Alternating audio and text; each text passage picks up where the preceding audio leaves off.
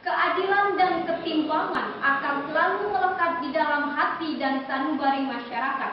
Assalamualaikum warahmatullahi wabarakatuh. Secara terminologi, pemindaian berarti cara, proses, dan perbuatan memindai sesuatu, bukan suatu hal yang asing lagi. Jika dewasa ini, data dan privasi seseorang dapat diakses kapan pun pengetahuan yang berdasarkan asas kepatutan dan kelayakan yang menuntut adanya keterbukaan informasi.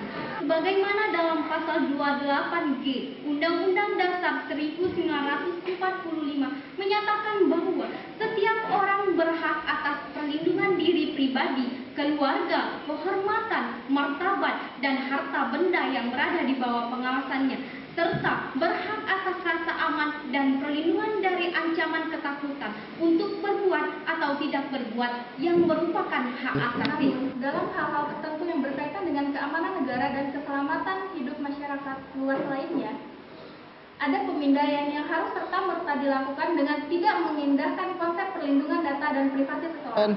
Mengapa demikian? Karena ada perhitungan yang, yang efektif dan efisien di mana negara harus menegakkan hukum melalui pemindaian dengan pembatasan yang sangat minim. Mengingat apabila dibatasi dengan pengaturan pemindaian, maka akan menelantarkan proses pencegahan dan pemberantasan kejahatan yang terorganisir dan kompleks. Dengan melihat kebutuhan pengaturan hukum, ruang lingkup perbuatan hukum yang berbeda-beda, juga kepentingan politik pembuatan suatu aturan hukum, serta menimbang kejahatan luar biasa atau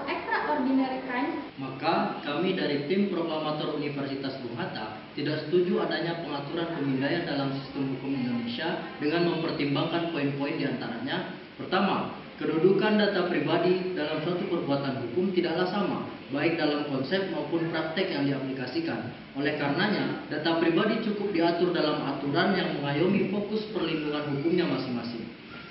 Kedua, kebutuhan akan penegakan hukum, terutama tindak pidana yang termasuk kejahatan luar biasa, akan terganggu dengan adanya pengaturan pemindaian dalam sistem hukum Indonesia. Dalam pencegahan tindak pidana seperti korupsi, terorisme, narkotika, dan kejahatan terorganisir lainnya, ada banyak kepentingan orang yang harus dilindungi, daripada harus melindungi kepentingan individual yang nantinya akan mengancam negara. Ketiga, walaupun kemudian akan dikecualikan terhadap keamanan nasional dan proses penegakan hukum, tetap saja ada celah yang besar bagi pelaku tindak pidana agar bisa lari dari proses penegakan hukum tersebut.